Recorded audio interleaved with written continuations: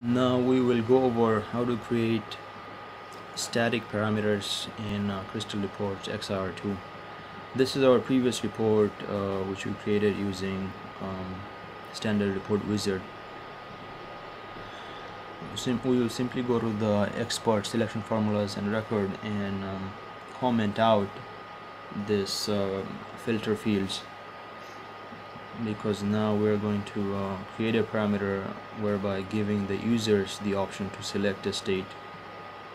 So we'll go to the parameter fields and create a new parameter and let's name it states. And on the right hand side you'll say um,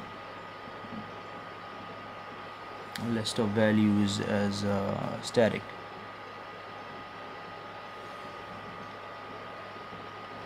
we will click on value where it says value field. We will uh, pick a or pick the uh, column from the table to populate the unique records.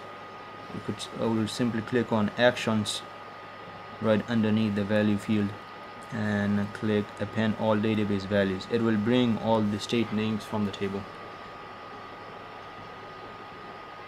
So there we go and we will click OK right underneath it. We have other options like having multiple values and custom values and whatnot. Now we'll have to set this parameter equal to one our the actual tables.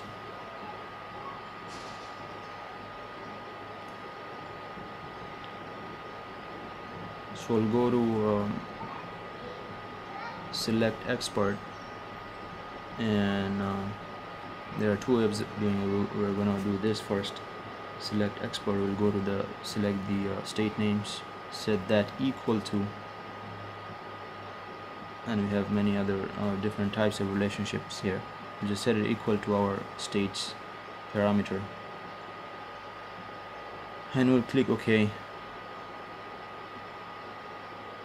And let's just undo this step to show you that the second way of doing it probably the more preferred way is going to our export selection formulas record where we have previously uh, commented out our existing um, filters. So we'll just again left bracket state state name equal to again left bracket opens up our parameter. We ver verify this save and close. Once we refresh now it will populate all those um, database values in here and we'll simply select a state.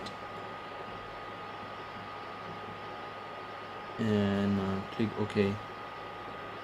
And the report will bring back Arizona and so on. This is how we create static parameters on Crystal Reports XI